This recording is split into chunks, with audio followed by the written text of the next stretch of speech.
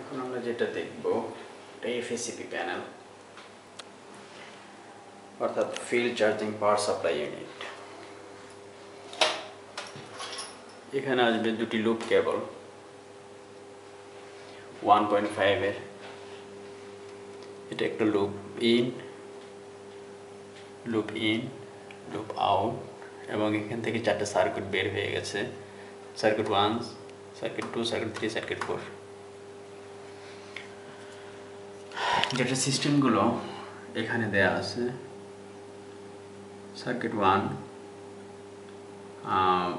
plus and minus circuit two plus and minus circuit three plus and minus circuit four plus and minus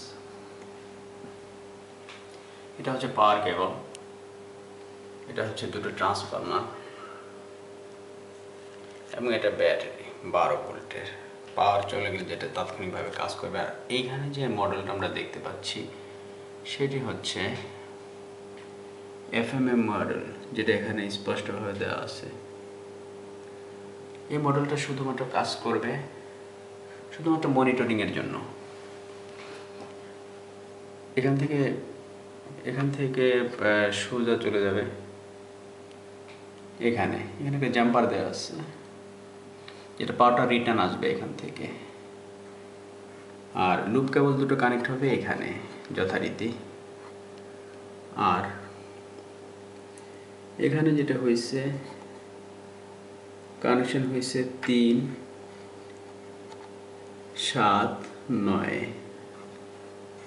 ব্ল্যাকটা তিন, সাত, নয়। এবং রেডটা হচ্ছে চার, ছয়, আট, দশ।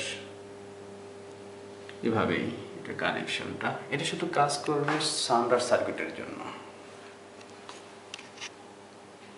শুধু সাউন্ডার যত সাউন্ডার সার্কিট আছে, যেমন রুম সাউন্ডার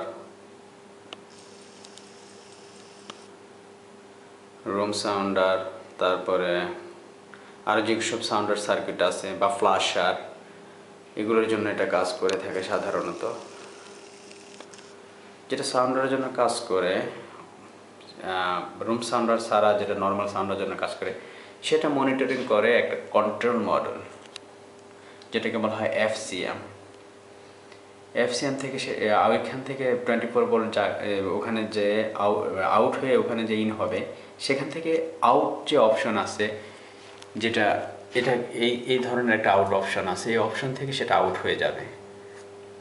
যখন ফায়ার আসবে অটোমেটিকলি এখান থেকে পাওয়ার ডাইরেক্ট হয়ে যাবে টোয়েন্টি ফোর ভোল্টের জন্য। সেখানেও লুপ কেবলের কানেকশন দেওয়া থাকবে, যেটা ওই মডেলটা মনিটরিংয়ের জন্য। আর এই ধরনের একটা অ্যাড্রেস দেওয়া থাকবে, এটা হলো অ্যাড্রেসেবল এটা হলো অ্যাড্রেসিং প্লেস